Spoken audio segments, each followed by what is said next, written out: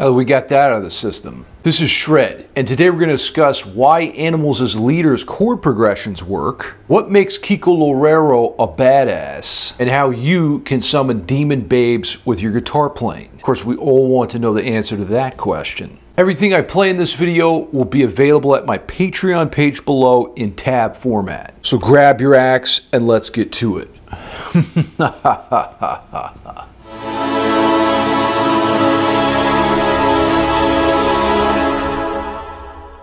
Now this first question is from Mafu. Why does the intro chord progression to an infinite regression by animals as leaders work, even though it has many notes out of key?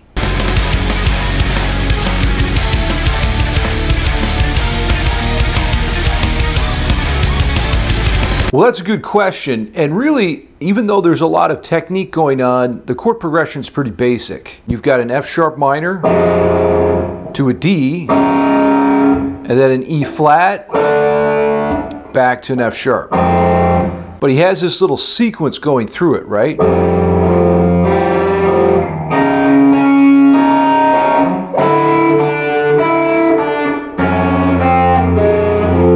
I'm just playing the chords, not all of his fancy thumping technique, double jointed. The reason this progression works is because, first of all, most of the chords are in the key. The F sharp minor, that's that'd be the one. And then moving to the sixth chord or the D. Now this E flat is out of key.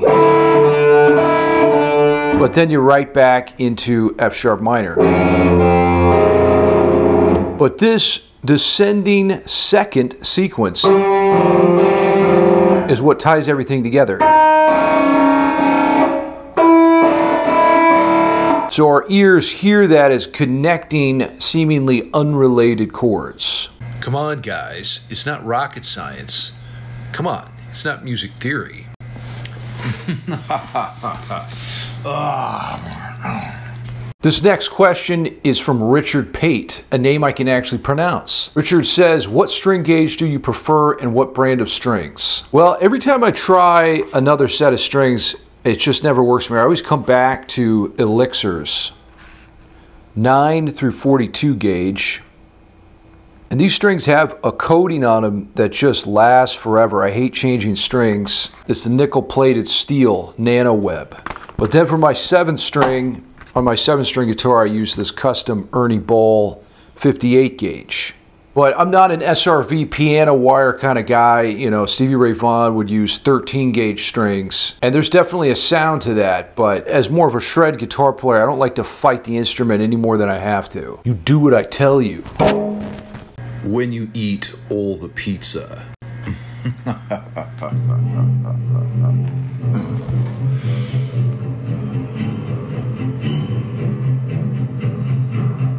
All right, next question. Get to the choppa. Asks tips on making beautiful sounding chord progressions. Well, that's a great question. My first tip for making beautiful chord progressions is pedal tones. And a pedal tone is just a repeated note.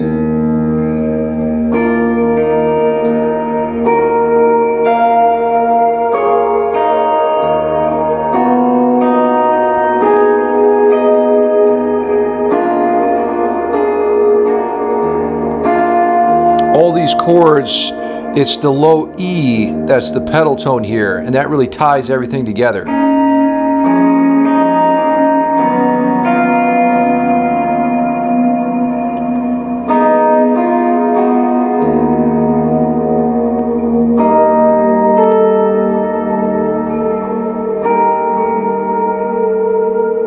The whole point of this exercise is to make sure the chords share a common thread, and that's the purpose of the pedal tone. Death metal? I believe you mean progressive black and thrash metal.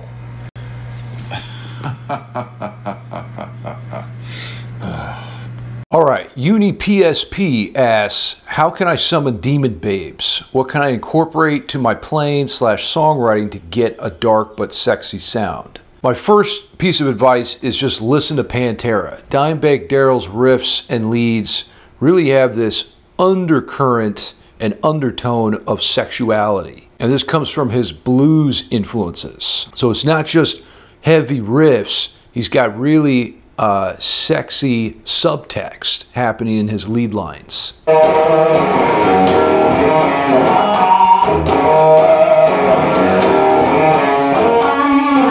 Things like vibrato and string bending will really help you create more of a sensual vibe in your playing as well.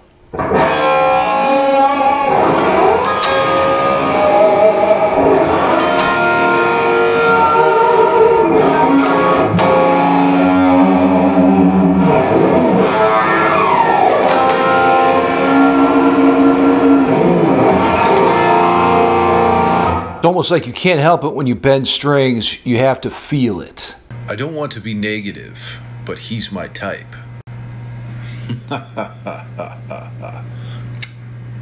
Who are three of your favorite guitarists and which solos of theirs especially tickle your fancy? Well, everybody likes getting tickled. Oh. Well, this is a tough question and it's going to change depending on the day you ask me. But for today, number three, I'm going to go with Guthrie Govan. Number two, Michael Romeo from Symphony X. And number one, Kiko Loureiro of Megadeth. Now, all these guys are ridiculous, of course, but I think Kiko Loureiro really represents the standard for a metal guitarist these days. Brilliant technical mastery. He's also an accomplished songwriter and composer. He brings a lot of outside influences into the metal genre, like jazz and Brazilian music. He's also a multi-instrumentalist, uh, great piano player as well, very adept at fingerstyle playing. And on top of that, his ability to perform in front of an audience is unreal. A lot of people don't realize how important this part is. You can be an amazing player, but if you don't look like you're having a good time and can thrash about on stage,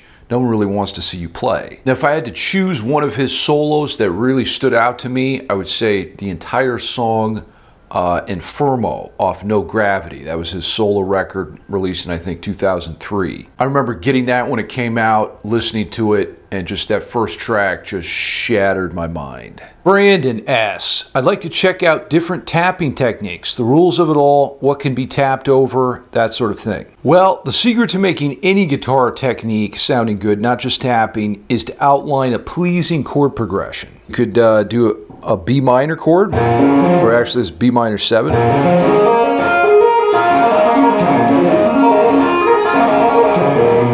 You know, it's not just going up a scale. I'm actually thinking about outlining a chord, or maybe uh, you could do a major 7 one.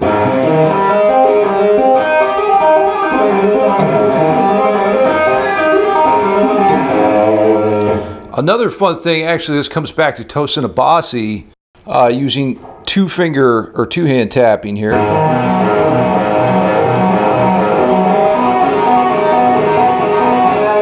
like this sort of pattern here. It's an A minor 7, but it goes A, E, C, G.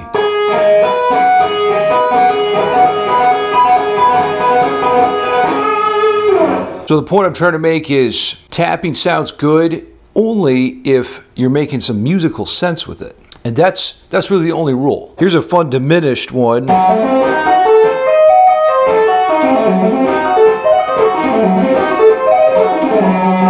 Pabby asks, What's Shred's biggest goal in life at the moment? Well, Pabby, um, growing my social media presence is very important to me uh, YouTube, Instagram, TikTok. Trying to figure out how to give you guys more value. Uh, I'm working on my ultimate music theory course. It's kind of like Rick Beato's Beato book. It'll contain everything that I think on any given musical topic or my approach to that topic. 20th century harmony, chords, scales, key signatures, all the music theory stuff, but also guitar technique. Other than that, I do have one more goal, and that's to destroy the universe with evil chords.